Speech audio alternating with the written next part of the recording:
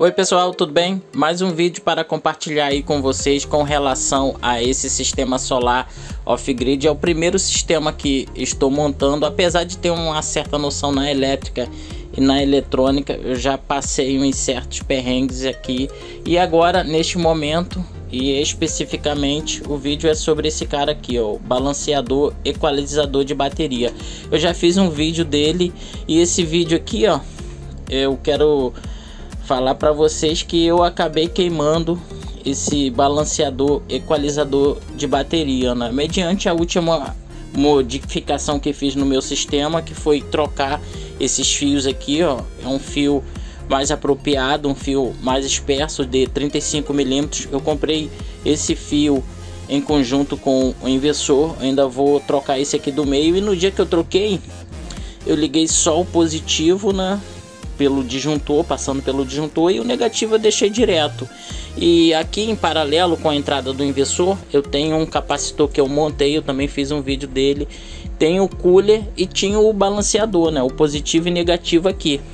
Porque desligando o disjuntor, como estava anteriormente com fio de 16, desligava os dois polos e o balanceador, esse fio branco, ficava meio sem nenhum problema, né? Mas como eu deixei o negativo direto e com isso né, fez alimentar o balanceador pelo negativo, o meio dele estava ligado na série das baterias e com, com o disjuntor desligado ele alimentou o positivo. Na hora que ele alimentou o positivo, quando eu liguei o negativo, né, mesmo tendo esse disjuntor desligado, ele acabou carregando o capacitor, alimentando o inversor e ligando o fio aqui do cooler, né?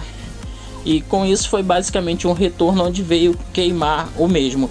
Então, na utilização desse aparelho é interessante desligar primeiramente ele, né, para assim ligar novamente. O ideal é que ele fique diretamente em paralelo com a bateria. O, o outro que eu já até comprei no AliExpress, entre outros aparelhos, né, como um Sonoff, eu comprei um barramento mini compacto, né? Estou esperando chegar. O outro chegou bem rápido, né? E esse aparelho é muito útil para utilizar nesse sistema que utiliza duas baterias de 12 volts, né? nesse caso aqui é 24, para ter a tensão iguais nas mesmas. E com relação aos vídeos anteriores, neste momento está sem o balanceador. Eu troquei esses fios aqui, né? ainda vou estar fazendo uma modificação nesse disjuntor porque a princípio eu comprei errado, né? Porque esse controlador é 60 ampere, esse disjuntor é DC, ele também tem posição de entrada e de saída.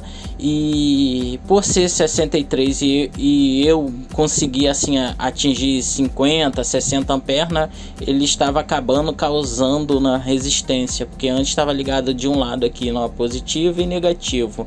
E por ter essa certa resistência e aquecer aqui eu liguei os dois fios, né, uni os dois polos do disjuntor para ele trabalhar em paralelo, né, somando aqui esses 63 amperes. E por que que eu fiz assim? Porque eu utilizo a proteção do controlador e o controlador corta pelo negativo.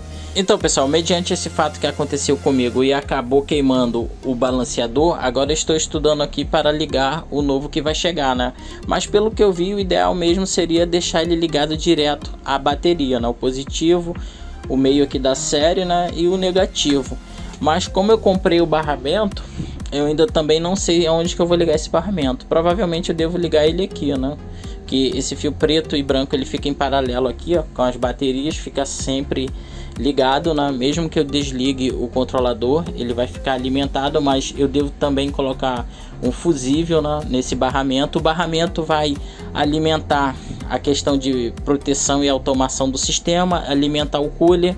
Talvez eu ligue esse balanceador no barramento, mas provavelmente eu também devo colocar uma lâmpada ou um fusível aqui nesse fio branco, né, o que vai no meio, um fusível de 3 ou 5 amperes. E eu também tenho a opção de deixar ligado como estava ligado aqui antes, né? Agora nesse momento está o capacitor, o ideal mesmo é ter o capacitor ligado aqui a entrada do inversor, esse fio fininho aqui é do cooler, né? E, mas aqui caso eu desligue esse disjuntor, ou dê algum curto aqui, né? Ele vai desligar todo o sistema de automação, né? E aqui não. Desligando aqui eu posso desligar aqui o disjuntor, vai desligar o inversor, mas todo esse sistema aqui ainda vai continuar funcionando. Então pessoal, pelo que eu vejo aí na internet, as pessoas que têm sistema solar off-grid tem uma parede com uma porrada de fiação, aparelho, tudo espalhado, né? Aqui basicamente não deixa de ser, né? porém está bem compacto. E aqui eu tenho toda a situação de proteção, automação, comando de voz, proteção na energia da rua. É, eu, ele também liga automaticamente quando falta energia, né? também é programado para ligar e desligar pelo horário utilizando esse sonoff modificado. Então esse aí é meu sistema. Então pessoal, consegui quebrar para ver os componentes da placa, né? ter uma ideia aí de como funciona. Mas do jeito que eu quebrei aqui, a grosso modo, vários componentes ficaram presos nessa massa plástica, né? E aqui, ó, na placa dá para ter uma ideia, né? Aparentemente o curto foi desse lado do positivo. E dá a entender que os dois lados são iguais, né? Mas porém deve ter uma regulagem aqui para equilibrar e balancear as baterias. Uma plaquinha bem feita, né? E poderia ter essa proteção contra esse curto, né?